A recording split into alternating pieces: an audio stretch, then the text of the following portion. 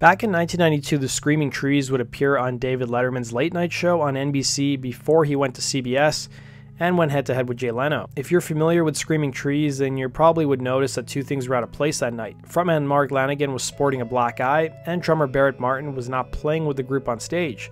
What the hell was going on? That's what we're going to discuss in today's video.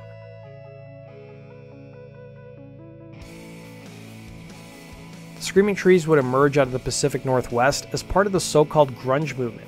Formed in 1984, the band's original lineup would be made up of imposing frontman Mark Lanegan, the Conner brothers on guitar and bass, and Mark Pickerel on drums. Pickerel would be replaced by Skin Yard drummer Barrett Martin in 1991. Screaming Trees would soon earn a reputation for being unpredictable and volatile, thanks in large part to frontman Mark Lanegan, who struggled heavily with addiction.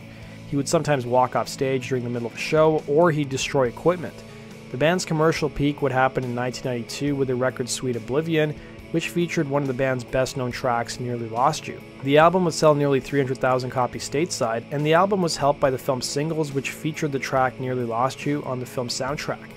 Apart from appearing on MTV at the time, the band also appeared on late night television, with the group making their network TV debut on October 16, 1992. 24 hours prior to their appearance, the band was in Asbury Park in New Jersey at a bar named the Fastlane. Despite the band's intimidating stature with the plus size Conner brothers, Barrett Martin standing over 6 feet tall, as well as imposing frontman Mark Lanegan, the band stood outside the bar and they soon found themselves coming to blows with some local hooligans.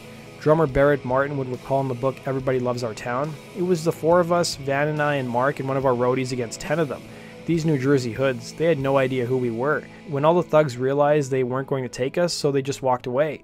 And the next day we were on Letterman, and Lanegan's got this huge black eye, and my arm is in a sling, so they had Steve Ferrone play the drums. According to Lanegan's biography, Sing Backwards and Weep, he declined the offer from the show's makeup artist to cover up his black eye. Letterman would poke fun at bassist Van Conner's weight during a food segment which aired before the band took the stage, holding up a ham and saying it was trail mix for Screaming Trees. Here's what happened after the band performed on the show. What do you think? Screaming. Yeah, they were great. They were screaming. They're from Seattle. Yeah. What? But I'll, I'll, I'll be honest with you. I was kind of scared. Help yourself. There you go. Whatever you like. Help yourself. Right over there. Thank you.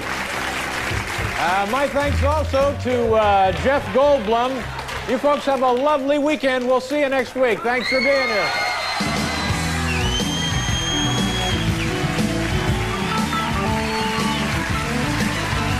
That does it for today's video, guys. Thanks for watching. Be sure to like button and subscribe, and we'll see you again in Rock and Roll True Stories. Take care.